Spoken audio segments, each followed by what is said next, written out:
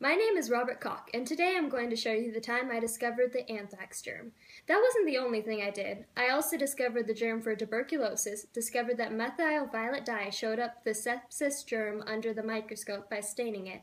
I perfected the technique of growing pure cultures of germs using a mix of potatoes and gelatin, and I am considered one of the founders of microbiology.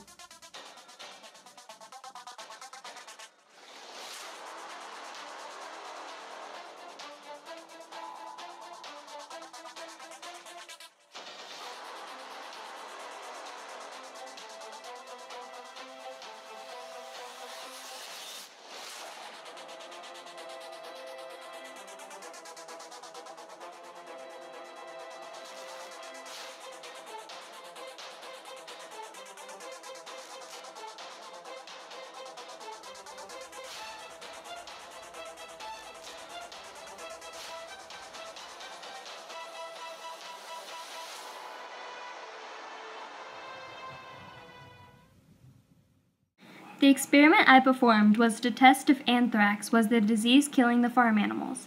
I extracted blood from a cow that died by the disease and observed it in a petri dish. Two days later, bacterium had grown, and I injected the bacterium and blood into a mouse. Seven days later, the mouse had died.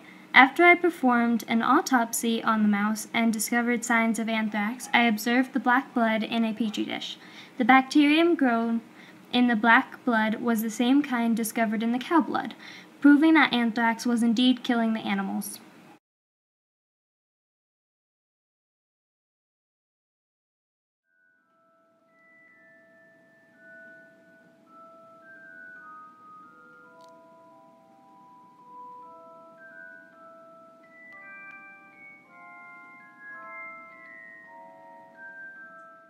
Do I look good?